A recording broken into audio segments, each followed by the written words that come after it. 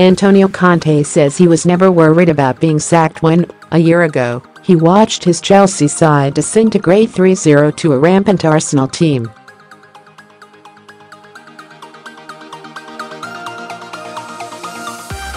One year on, Chelsea take on Arsenal again as Premier League champions, but on September 24 last year it seemed as though Arsene Wenger was undergoing something of a revival and Conte's time in English football was set to be short-lived.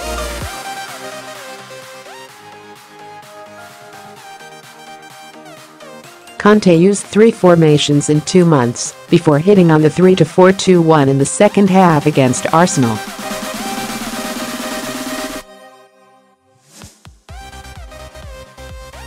That switch precipitated 13 straight victories which laid the foundations for Chelsea's title win, with Arsenal's challenge proving insubstantial.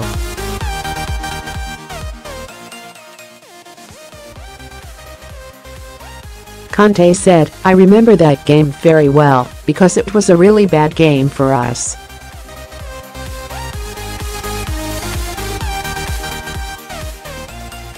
Then we changed our system, because after that game I understood very well our team.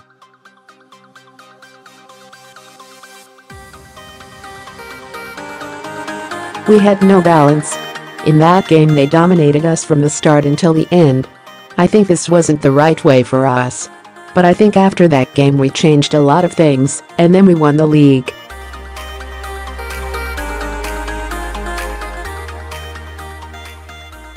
I remember during the press conference after the game the question about this betting company, which offered odds on his sacking.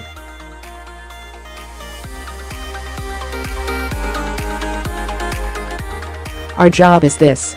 We must be prepared to face this type of situation.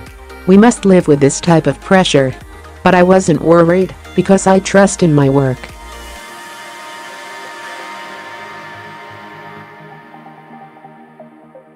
I trust myself and my idea, in my methods.